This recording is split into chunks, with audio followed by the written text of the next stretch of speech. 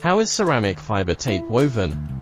First, we need to mix ceramic fibers and organic fibers. Organic fibers play the role of bonding here, otherwise the ceramic fibers cannot be entangled and spun into yarns by themselves. This is why the ceramic fiber tape will have smoke or even flames in the early stage of use, the cause of the smoke or flames produced by the burning of organic fibers. Secondly, we need to comb the mixed fibers, so that most of them are in the same direction and become rough yarn. At this time, in order to enhance the spinability of the rough yarn, glass filaments will be added when the yarn is formed. This will increase the strength of the yarn. However, the glass filaments added at this time have a temperature resistance of only 550 degrees, so the stainless steel wire must be added at the end. So as to ensure that the ceramic fiber tape can work normally even if the glass filament is melted under a high temperature environment of 1000 degrees. The next step is the spinning process. The rough yarn with glass filaments will be twisted and wound on the spinning machine to form a spun yarn.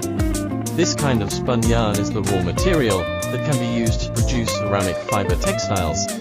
However, this step has relatively high requirements for the spun yarn, such as excessive breakage, big belly yarn, and big knots will affect the quality of the next weaving cloths product.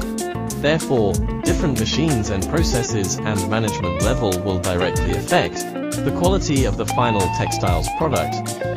As the raw material of warp and weft yarn, spun yarn is weaved on the loom to form ceramic fiber tape. The ceramic fiber tape produced by this old machine is slower, but it can guarantee the product quality very well. Workers can stop at it. Why time to check whether there are broken warps, wefts, rough knots and defects on the tape surface.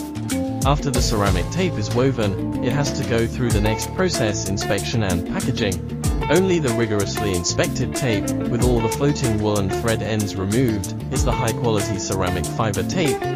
Then go through the tape winder to roll it up to form a fixed size product. Generally speaking, the width within 300 mm is called the belt, and the narrowest belt we can achieve 15 mm wide. The conventional belt is 30 meter roll, and there are customized products of 25 meter roll or 50 meter roll. The thickness of the belt can be from 2 millimeters to 6 millimeters, according to customer customization.